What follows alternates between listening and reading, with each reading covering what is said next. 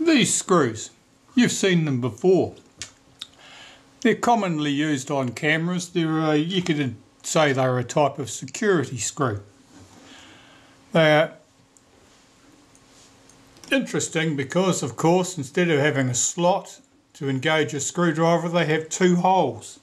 And as a consequence, they're usually called by descriptive names like two-hole screw, which is very good. They're also called pig nose screws or snake eye screws. And you'd think, well, they're interesting things. I'll just trot down to the hardware shop and get myself a screwdriver. Well, you'll discover that there are virtually no screwdrivers available to unscrew things like that. And the reason being is that they're all a little bit individual. They'll have different spacings of the holes and they'll have different diameters of the holes. So getting a screwdriver that's going to fit them down at the hardware shop is not particularly likely. As a result, of course, you're going to have to make your own. Now, how are you going to get around that problem? Well, various manufacturers have got their various sizes, so chances are you're going to have to make a tool to do exactly the job you want to do right now. And sooner or later you'll come across another one and it'll be a different size and you're going to have to make a different tool. But that's just life as we know it. Here's another example and another one again. Here we've pretty much got the whole set. One here, one here and one here. Lots of fun. So what tools do you use to undo screws like that? Well, what screws, what tools you'll use will often depend very much on the size of the fastener you're trying to deal with. If it's a large fastener and that the holes are quite a distance apart, you may be able to use something like the spanner, the spanner wrench. This one, the tips are not particularly pointy, but you could improve them. And of course, you can adjust this down so the tips come in fairly close. In fact, what are the, what's the spacing there? That's about eight and a half millimetres between the points. That's certainly too big to do any of those screws that I showed you with possibly the exception on the Fed 3, that's large enough. For that sort of tool, that might be what you can get by with, certainly for the larger sizes. If you're really on the cheap, your a very stout pair of tweezers may do the job for you but I'm warning you you start using tweezers to do screws like that the chances of them flipping out of the hole and scratching something is pretty high but they can help you particularly if you're doing things up rather than undoing them because often it's much harder to undo a screw than it is to do it up to a suitable tightness what else these ones. This is a pair of uh, circlip pliers. It's lost its return spring of course and the tips have been ground down fairly fine. Also you get the angle of those relatively parallel at the sorts of distances you're using. This sort of tool may well get you out of trouble. But as I say, just as with the tweezers, it's a bit awkward to get that in the holes turn it and not have something shift come out of the hole and scratch something but it's a handy and a cheap way to deal with the problem. But if you're going to be doing a lot of something you can probably do with a special tool. Now here's an example. Simple screwdriver.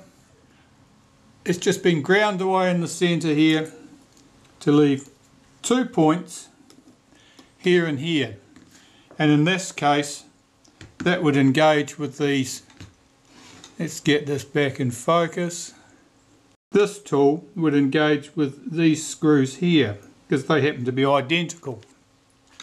It's nice and simple fairly easy to make. Of course it's tailor-made you're only going to use it for one job. This one over here. Different case that one. Now it's a different size again, but unfortunately these screws here, they're easy to deal with. They're not going to be especially tight. They're brass fasteners, quite small, they're not screwed down to a ridiculous torque. The ones here, particularly when you find them on the advanced lever of the Retina IIa type cameras, they can be very tight. As a result of being very tight, if you were to use a simple thing like this, with just two tiny prongs on it, there's a good chance that it would end up slipping and marring the fastener and making a mess of it.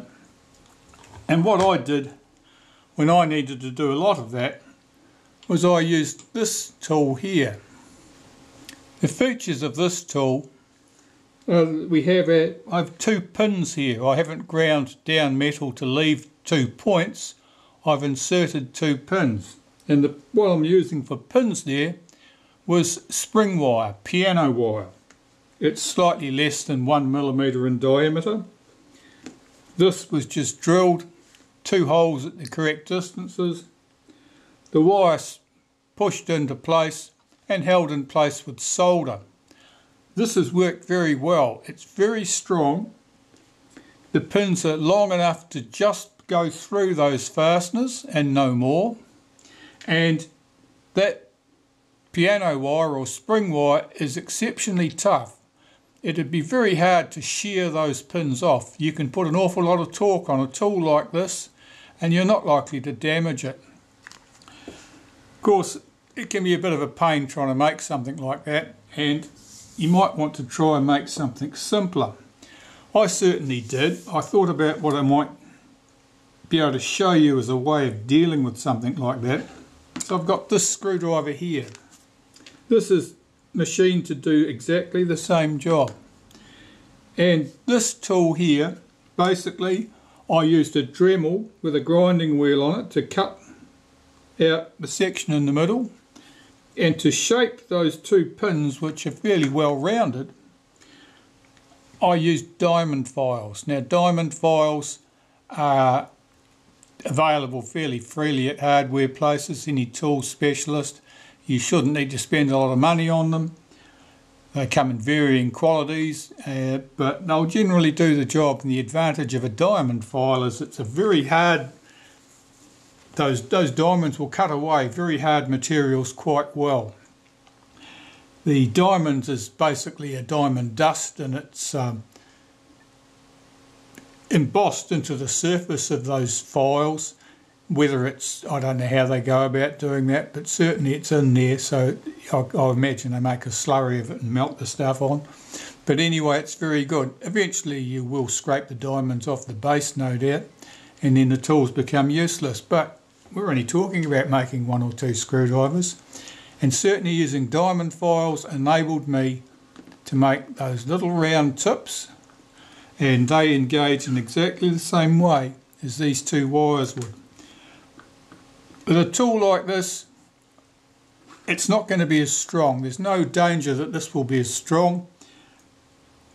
Apply enough torque on here and you will shear one of those little protrusions right off. I'm absolutely certain of it. Will that be a problem for you? Well, quite possibly not. If you're doing lots and lots of very difficult ones, yeah, sooner or later it's probably going to come to grief. That wouldn't be the end of the world because basically you'd just knock the other one off, machine this back up and make two new points again. You could go on for a long time like that. But that's a nice cheap way of doing it. It's um, a handy tool, one that you can put in your toolbox. I think that this was the princely sum of about $5 here. You could probably get it even cheaper depending on where you happen to live. Here's my arrangement for my Dremel and uh, as you can see it's a very crude arrangement but it's adequate. And when I want to grind uh, a screwdriver tip or something I've only got to feed it into the, the cutter. I've got great control at that point. And this one here obviously is quite a wide grinding wheel, but the very thin cutting discs, they work remarkably well too, particularly when you're trying to get in into a small area. But that's all I use, that's the Dremel. And uh, as you can see, it's not exactly a high-tech arrangement but it works remarkably well for me. And to shape those two pins, which are fairly well rounded, I use diamond files. Now diamond files are available fairly freely at hardware places, any tool specialist. You shouldn't need to spend a lot of money on them. They come in varying qualities, uh, but they'll generally do the job. And the advantage of a diamond file is it's a very hard, those, those diamonds will cut away very hard materials quite well. The diamond is basically a diamond dust and it's um, embossed into the surface of those files whether it's I don't know how they go about doing that but certainly it's in there so I, I, imagine they make a slurry of it and melt the stuff on. But anyway it's very good. Eventually you will scrape the diamonds off the base no doubt and then the tools become useless. But we're only talking about making one or two screwdrivers and certainly using diamond files enabled me to make those little round tips and they engage in exactly the same way as these two wires would. With a tool like this, it's not going to be as strong. There's no danger that this will be as strong. Apply enough torque on here and you will shear one of those little protrusions right off. I'm absolutely certain of it. Will that be a problem for you? Well, quite possibly not. If you're doing lots and lots of very difficult ones, yeah, sooner or later it's probably going to come to grief. That wouldn't be the end of the world because basically you'd just knock the other one off, machine this back up and make two new points again. You could go on for a long time like that. But that's a nice cheap way of doing it. It's um, a handy tool, one that you can put in your toolbox. I think that this was the princely sum of about $5 here. You could probably get it even cheaper depending on where you happen to live. That led me to this idea. Now here I've got quarter inch or 6.35 millimeter hex bits commonly available in all sorts of styles. You would use that with a screwdriver handle like this. This is a stubby, but you could use a longer screwdriver. And what I've done with these, because these are, these are quite hard, I've made one here, this one's fairly plain as you can see. Basically it's just got a U-shaped cut in the middle. And in that case what I used was a carbide uh, end mill in a mill drill and basically I just milled away the piece in the middle. Now that one is set up to do those little screws on the top of the Film Advance shaft in a Retina IIIc and later cameras because basically they just have a little slot cut out either side of the screw head. That drops in nicely. That's quite short there there's plenty of meat. I don't think there'd be any problem with that. These two. One of these the larger of the two is set up to do exactly the same job as this tool. I've rounded those points off and I used diamond files to do that and it cut away that hardened screwdriver tips without any problems at all. I expect that in practice I would expect that this is quite possibly more brittle even than this. So you know if you're having to do hard work with this I think that most likely you could end up shearing one of those tiny little stubs off. The other one, which is a slightly different size, that one is set up the same as this. Again, I've done it in exactly the same way. I've machined that U shape out with a carbide end mill and then I use diamond files to round those tips up. And I can see from the scour marks here that the diamond files, you know, they rounded those edges up quite nicely. And they fit quite well and of course that would be a very cheap way to make your tools. No, I found two commercial ones in my toolbox. Neither of them are particularly well radiused off. I did find this one. And this little hole cut out here, that's not square at the base, that's certainly round at the base. So that follows the same principle. These ones here, they haven't bothered obviously. So much for that. It's worth having a discussion about the design of tips like this. One uh, aspect of the engineering of things like this is something called stress risers. Now a stress rise was the concept of basically when you have a, a an abrupt change in the material because of the way you've machined it in particular it means that when you apply stress to something like this tip here, it's likely to snap off at that uh, point where there's the abrupt change. So sharp corners are usually to be avoided in engineering anything, if at all possible. These pieces here, you can see that there I've made an attempt to avoid sharp changes. So as much as possible there's a gentle curve through here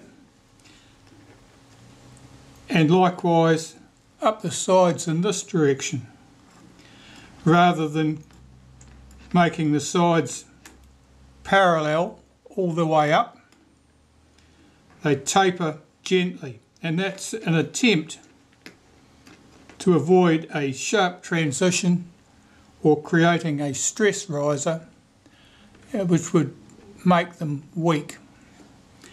So that's the, re the reasoning behind doing it this way and you will see the same approach taken um, for commercial tools of a similar nature. I may even have a bit here I can show you.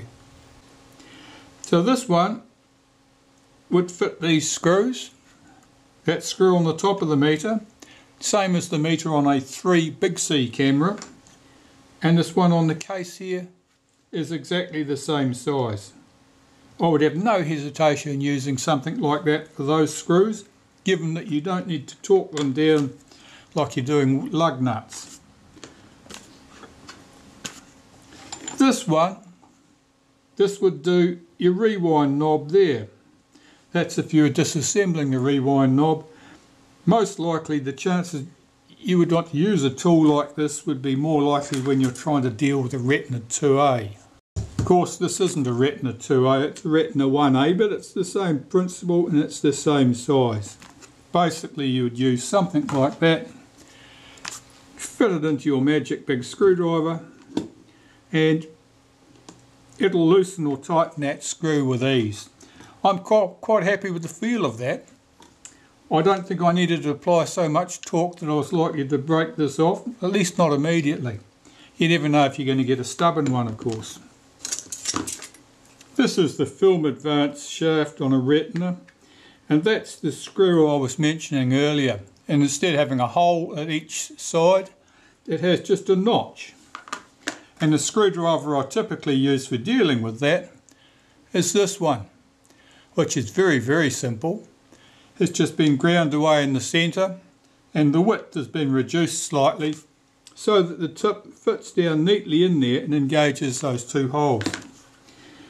As I showed you this tip here that I'd made, that would do exactly the same job. That fits in there nicely and with a suitable handle like this, you'd have no trouble at all.